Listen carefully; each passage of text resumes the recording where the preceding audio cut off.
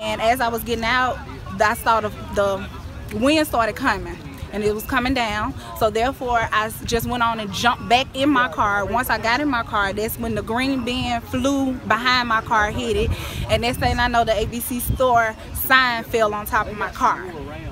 Um, the other people, it was two guys standing outside at the time also because we were all trying to cover to go in. What, did it sound like, feel like? Oh, it sounded, it was just, you could just hear like some swirling and just everything just started flying everywhere, constantly.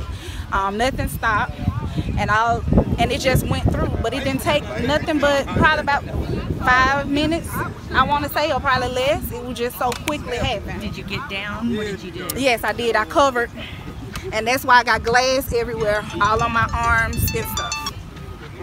It's because I covered. I got glass in my back, glass everywhere. It How came are you through. now?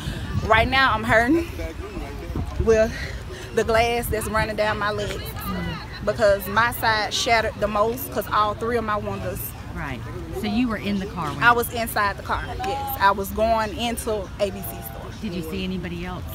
Um, no, nobody was hurt but the manager of the store. Cause of course we heard someone screaming when we got out the car, and we was like, "Where's she at? Where's she at?" And I was trying to make sure she was okay cause she's pregnant. So they got out the car, and someone finally jumped over and tried to get the manager from up under that down there. She was up under there.